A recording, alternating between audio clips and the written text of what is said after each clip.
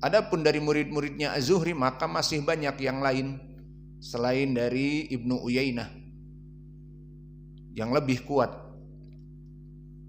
Dan berkata Imam Ahmad, asbatun nas fi Amr ibni Dinar adalah Sufyan ibnu Uyainah. Hafidun lahu. Gulita fi hadis al-kufiyin.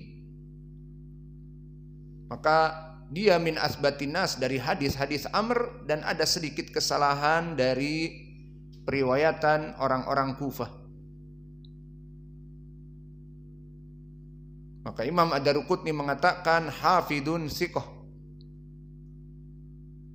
Dan Bishr ibnul Mufaddal yang hidup sezaman dengan Sufyan ibnu Uyainah memujinya. Ma baqiya ala wajhil ard ahadun yusbihu Sufyana ibni Uyainah. Tidak aku dapati di kolong jagat ini orang yang menyeperti atau menyerupai Sufyan ibnu Uyainah. Maka lihat bagaimana Bishr ibnul Mufaddal seorang alim di zamannya. Memuji Sufyan ibnu Uyainah alim di zamannya. Maka inilah ya ibadallah dari para ulama terdahulu. Maka mereka tawadu melihat orang lain lebih ilmunya daripada dirinya. Maka tidak ada hasad iri dan dengki menjegal dakwah teman sendiri.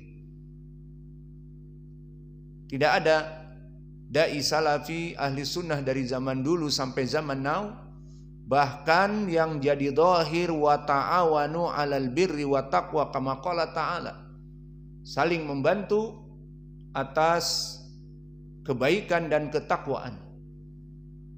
Maka membantu di sini bisa dengan saling mengunjungi, saling berziarah, saling memberikan salam dan saling memberikan sarana dakwah. Diundang untuk mengisi di ma'hadnya, diundang untuk mengisi di tempat-tempat yang biasa dia mengisi, maka itu yang juga termasuk wa ta'awanu 'alal birri wa taqwa dan juga jika mampu dia ditanya dan memujinya di hadapan manusia mendukung dari dakwahnya maka ini yang dilakukan oleh para ulama. Maka Bishr ibnul Mufaddal mengatakan bahwa Sufyan ibnu Uyainah tidak ada tandingannya di kolong jagat dari keilmuannya. Padahal dia alim yang besar namun tawadu melihat kepada orang lain lebih dari dirinya. Tidak dia ingin menjadikan dirinya sebagai marja, sebagai sumber. Yang lain tidak berhak untuk menyebarkan dakwah kecuali dirinya. Yang lain tidak berhak untuk menjadi best of the best, tidak butuh kepada yang lain kecuali dirinya. Maka ini bukan dari manhaj dakwah ahli sunnah. Manhaj dakwah ahli sunnah meskipun dia a'lamu ulama rendah diri. Dan tiga, tidak arogan. Dan tidak hegemoni. Merasa dirinya number one maka semua harus izin kepadanya. Semua harus tunduk kepadanya. Dan kekuasaannya hegemoni membuat seakan-akan dia menjadi marja dan tidak boleh ada acara-acara kecuali harus berhubungan dengan dirinya. Dari satu pintu dari dirinya tidak. Maka inilah dakwah yang ta'awun dari zaman dahulu sampai zaman now dan ini dikarenakan ketawaduan dari para as-salaf dalam ilmu mereka. Berkata Sufyan ats-Tsauri dzaka ahadul ahadain maka na agrobuhu dan berkata Abdurrahman ibnu Mahdi a'lamu nas bi, ah, bi hadis ahli Hijaz. Maka ahli Hijaz maknanya adalah Saudiyah sekarang. Maka dia termasuk orang paling berilmu di Makkah. Maka disebutkan sebagai alim dari Makkah di zaman At-Itba At-Tabi'in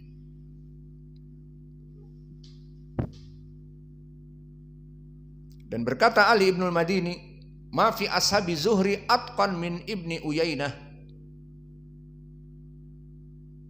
Dan dia mengatakan huwa imamun fil hadis mundu arba'ina sanah. Lihat Ali Ibnul Madini yang Imam Al-Bukhari melakobinya dengan Hayatul Wadi sebagai the Rattlesnake snake atau Imam Al-Bukhari mengatakan mastasgortu min syekhi ila min Ali ibn madini. Aku tidak merasa rendah dari guru-guruku jika duduk di hadapannya kecuali duduk di depan Ali ibn Madini. Ibnu Al-Madini alim di ilmi hadis dan ilmi penyakit hadis. Imam Al-Bukhari yang agung yang banyak dari guru-gurunya itu kalah ilmunya dengannya namun dia merasa takut dan merasa kecil di hadapan gurunya Ali ibn Madini Muhammad Musafir. Tuh.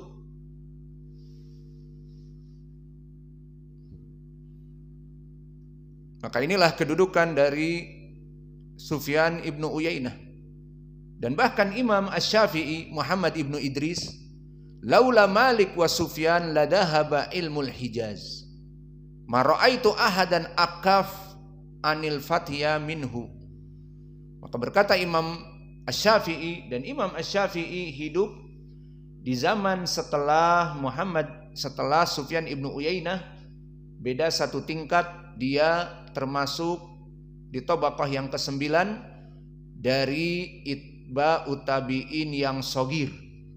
Maka dia dapati bagaimana Sufyan ibnu Uyainah mungkin sempat menjadi gurunya.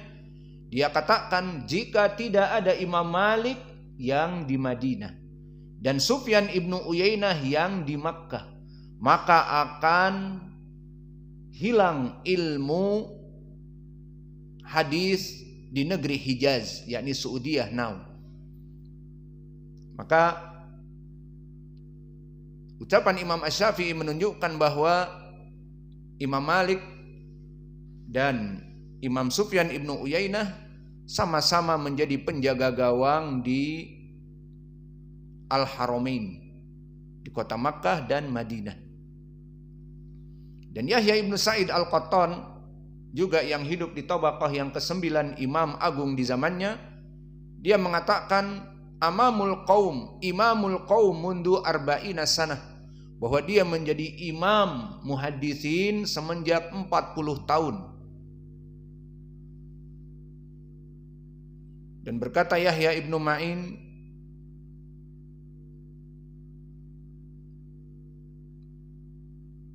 yang intinya mensikohkan dari Sufyan ibnu Uyainah. Kemudian meriwayatkan An Saleh maka soleh di sini soleh ibnu Kaisan al-Madani dan dia ad-Dausi. Ad-Dausi dari mana? Dari Yaman. Seperti Abu Hurairah. Namun orang tuanya sudah tinggal dari dulu di Madinah menjadi al-Madani. Dan beliau hidup di Tobakoh yang keempat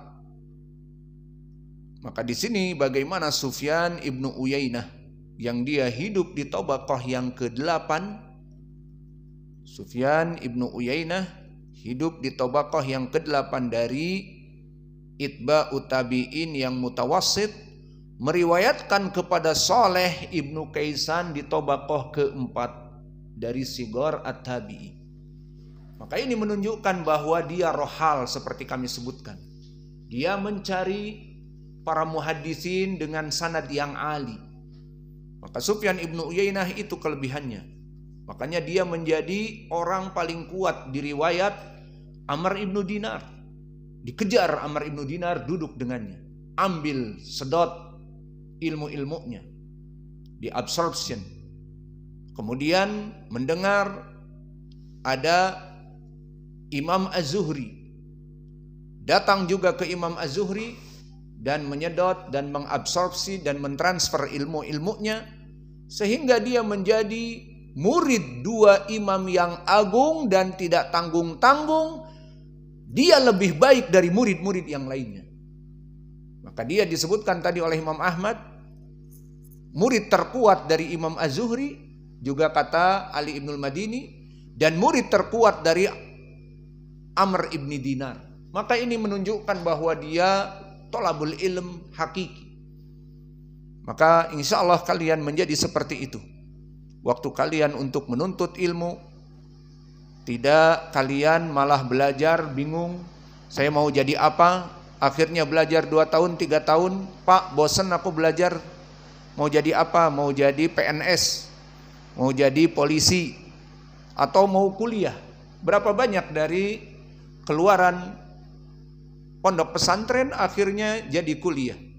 Setelah kuliah akhirnya ketemu mahasiswi pacaran kemudian menjadi orang awam dan bahkan meninggalkan ilmu yang dia pelajari bertahun-tahun. Itu karena pertama tidak ada taufik dari Allah di saat menuntut ilmu. Menuntut ilmu tidak mendapatkan taufik banyak sebabnya. Karena dia mungkin tidak ikhlas menuntut ilmu karena Allah. Akhirnya dia tidak mempunyai target apa sih tujuan dia duduk di pondok pesantren ini? Gak tahu, pokoknya bapak saya memasukkan saya ke sini. Akhirnya dia orang lain menghafal, dia merenung. Kenapa aku terdampar di pondok ini? Bapaknya ingin menjadikan dia seorang da'i ilallah. Namun anaknya tidak tahu maslahah untuk dirinya. Maka ini perhatian bagi kalian. Bapak-bapak kalian memasukkan kalian di sini ingin menjadi kalian dai, maka fokus pada kalian untuk belajar. Bukan untuk contohnya malah sibuk bagaimana cara mendribble bola dan bagaimana cara wantu yang baik dan benar. Akhirnya jebol dari sini jadi pemain bola nomor satu di U19 menjadi pemain bola umur 19 Indonesia, tim nasional. Ini salah jalan. Tinggal di sini untuk belajar ilmu agama bukan jadi pemain bola yang terbaik. Al-Muhim itu hanya sekedar misal, kalian harus tahu apa tujuan kalian ke sini dan kenapa bapak kalian menyimpan kalian di sini, bukan terus nanti mengeluh, "Pak, aku bosan, aku ingin menjadi polisi, aku ingin kuliah dan setelahnya. Maka kembali kepada Soleh ibnu Kaisan, bagaimana Sufyan ibnu Uyainah di Tobakoh yang keempat dari Tobakoh al-Wusta min itba'ut tabi'in mengambil ilmu dari Soleh ibnu Kaisan di Tobakoh yang keempat dan ini kebiasaan Imam ibnu Uyainah. Dia menjadi asbatunas di Imam Az-Zuhri. Imam Az-Zuhri Tobakoh keberapa? Keempat. Dan dia menjadi imam murid terbaik dari Amr ibnu Dinar. Amr ibnu Dinar di Tobakoh yang keempat dari kelompok tabiin.